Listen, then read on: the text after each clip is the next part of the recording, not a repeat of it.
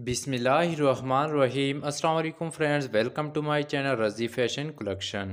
Friends, आजकल तकरीबन हर suit में टेढ़ा और तिरछापन होता है तो इसको ख़त्म करने का मैं आज आपको मुकम्मल तरीका बताऊँगा।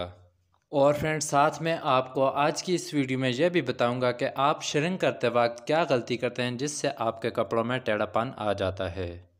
तो फ्रेंड्स सबसे पहले ये हमारे पास कमीज़ का पल्ला है और इसके दामन का जो बॉर्डर है, उसमें आप टेढ़ापन देख सकते हैं। इसमें कितना ज़्यादा टेढ़ापन आया हुआ है और यह एक दूसरे के साथ बराबर भी नहीं है। तो सबसे पहले हम इसको इस तरह बिछाएँगे नीचे की तरफ़।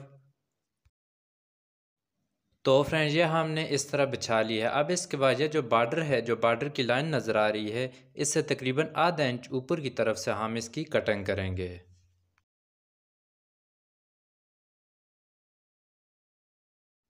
फ्रेंड्स, ये हमने इसका बार्डर अलादा कर लिए है। अब इसके बाद हम इसको, जो कमीज़ का पला है, इसको फिर इसी तरतीब के साथ इसको बचाएँगे ये आपने इसका गला जो ऊपर की तरफ़ है, उसका भी सेंटर रखकर इसका बचाना है। तो आप सबसे पहले इसके नीचे की तरफ़ हम सीधी लाइन खींचेंगे। अब हम इस निशान के ऊपर से इसकी कटिंग कर लेंगे। तो फ्रेंड, इसको हमने सीधा करके कटिंग कर ली है। अब इसके बाद ये जो बॉर्डर है, इसको आगे हम सीधा करके इसके साथ स्टिचिंग करेंगे।